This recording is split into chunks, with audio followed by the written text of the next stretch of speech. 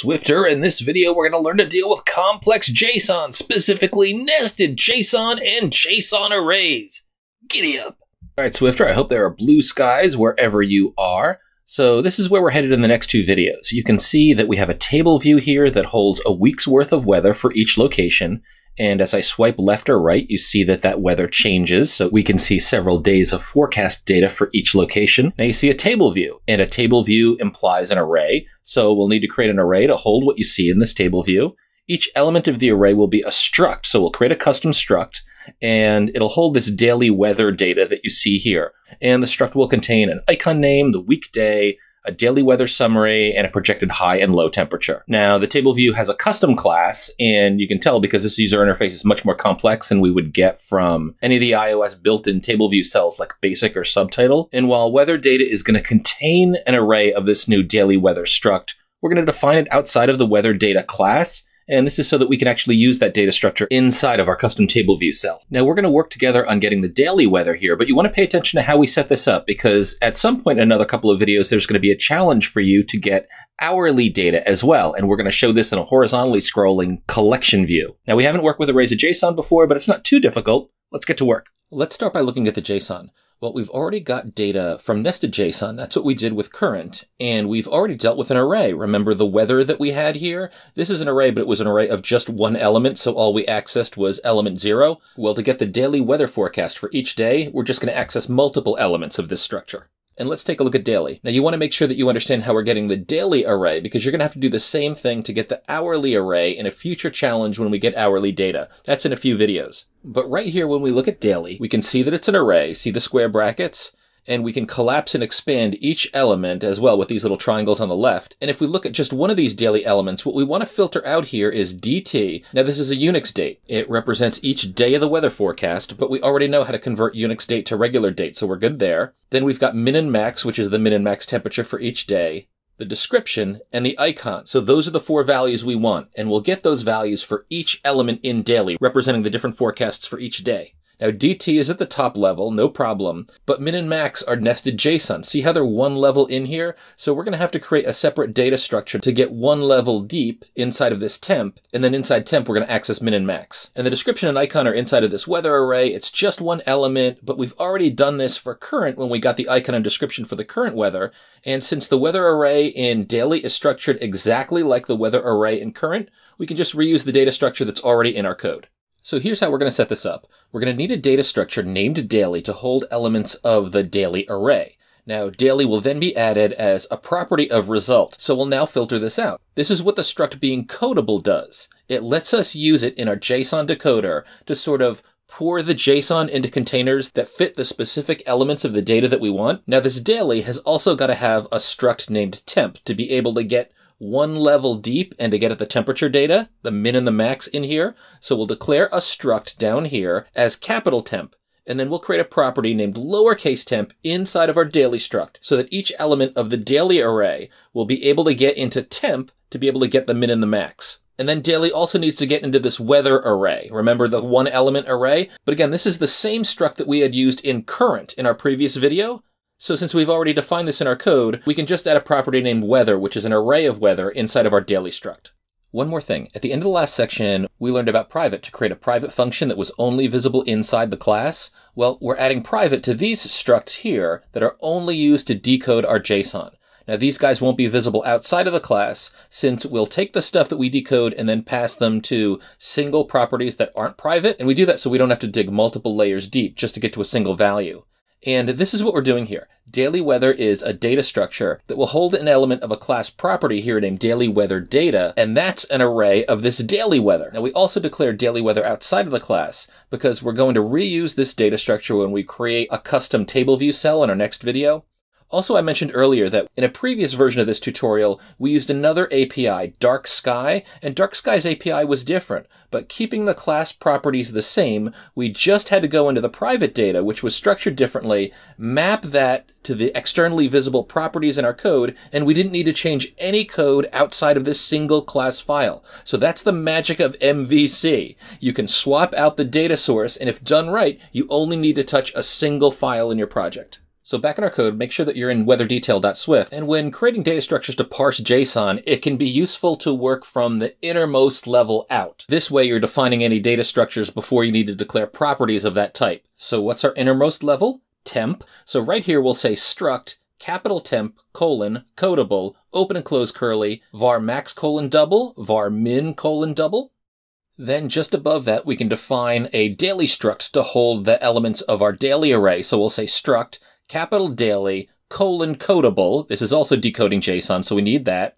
Open and close curlies, then var dt colon time interval, just like the Unix time interval we had up here, but this is a different value because this is going to hold the time for the individual days of our forecast. Then var temp colon capital temp, that's the data structure we created down below. Then we need to get at the description and the icon, but those are inside of a weather struct that's identical to the weather struct we created up here. So we could just say var weather colon, and remember this is that weird one element array, so we'll just say bracket capital weather bracket. And now that we have our daily data structure defined and our temp data structure inside of that, we can go back up here to result and add an array of that daily struct so that we can go ahead and get the forecast for each day. So right under result before the last curly, I'll say var lowercase lowercase daily colon, and then in square brackets, because this is an array, uppercase daily, that data structure we just defined. Then let's scroll down into our get data method, into our do clause. Now just to show you, at this point we've got everything parsed into the structs we just created. And I'll show you this in a print statement. So we can enter just below where we set our daily icon, print, and just to make it easy to find, I'll do triple star and all caps daily weather array, then string interp result.daily build and run. So far, everything we want to look at is in the console, but hey, we can see our triple star, and we've got an array here for each day that we got a daily forecast for. Nice!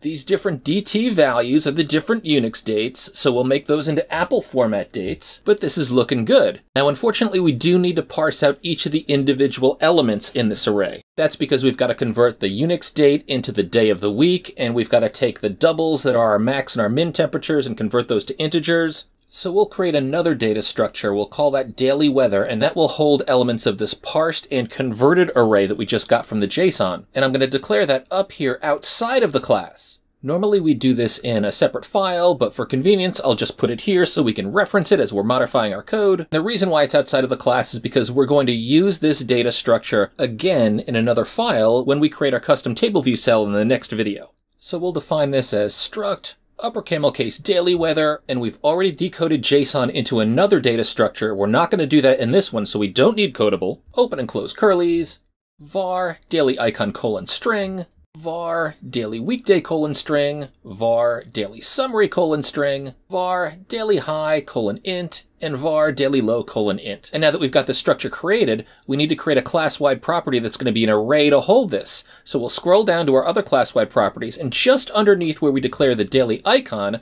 I'm going to type in var daily weather data is what I'll call this, lower camel case, colon, and then in brackets, the upper camel case daily weather, which we just created, equals, and then we're going to start out with an empty array, so that's just open and close square bracket.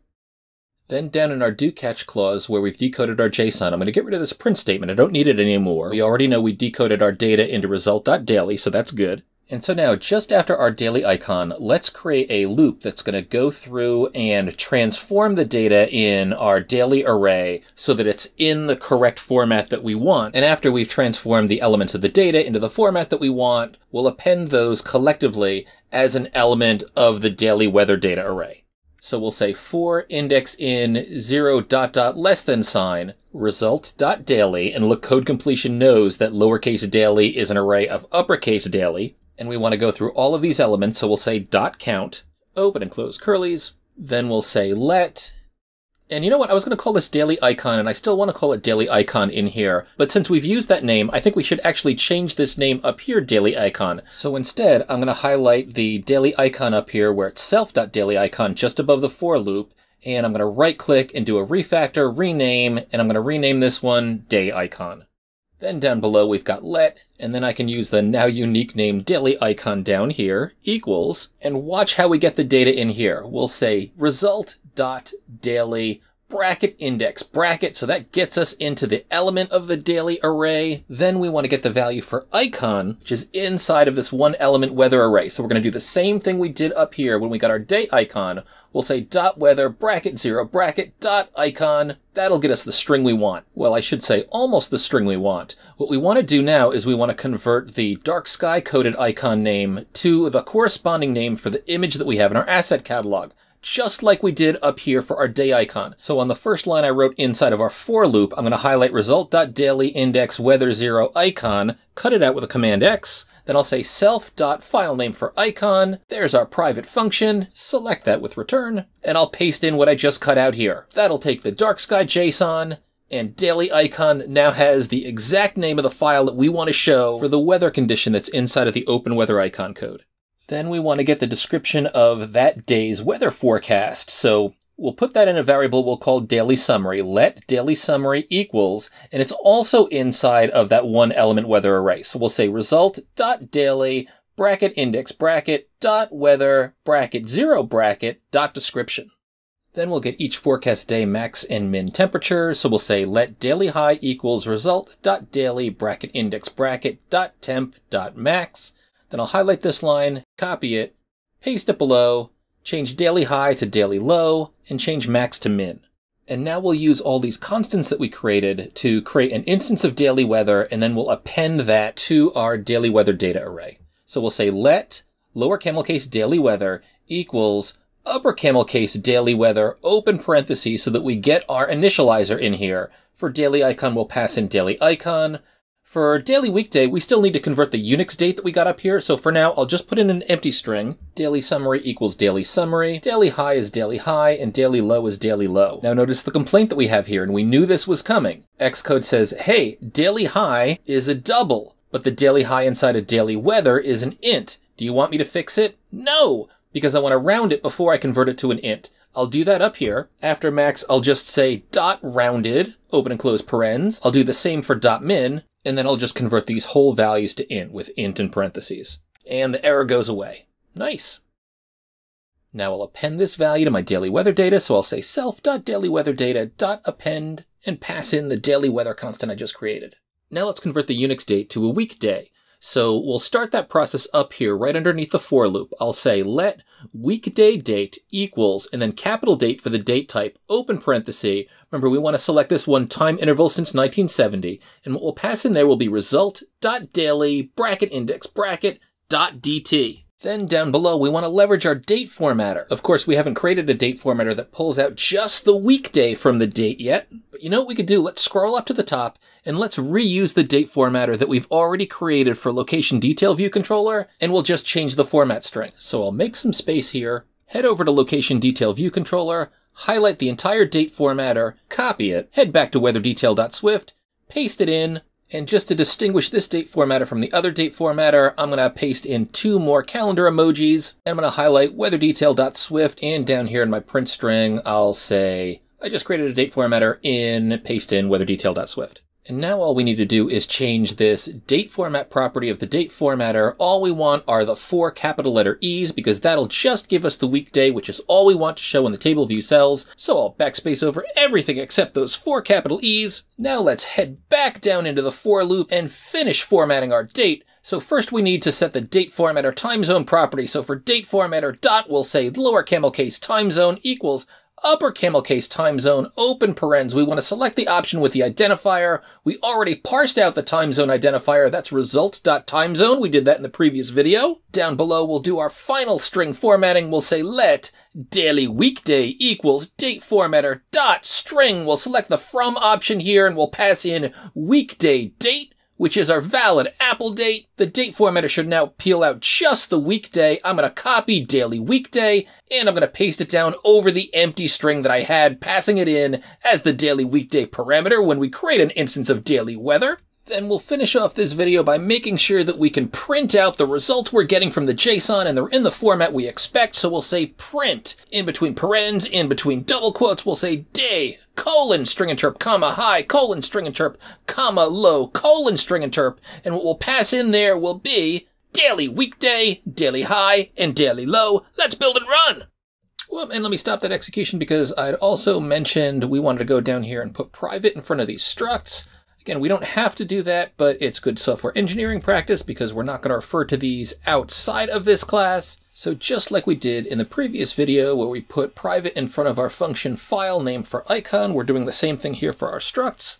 These are the ones that we're using to decode our JSON. Everything is all set up, so let's continue to build and run. And here we go. No errors. Build succeed. Hammer time. And ho ho, look at the console down here for Chad. That's our currently bogus current location at latitude longitude 2020. We've got multiple days of weather forecast. It's going to be toasty and in the 100s in Chad. Let's swipe. So we got weather for Gonzaga. Swipe again, Georgia Tech. Ah, I didn't have a good image for Thunderstorm. This looks pretty ugly. I'll have to find a good one. Stay safe, Georgia Tech. San Francisco State. Swipe to Boston College. And the next week, it's going to be summer balmy here in luxurious Chestnut Hill. From the low 80s to the mid 70s as our high. Swifter, you did a great job parsing out arrays of JSON data. Hope you're feeling skilled.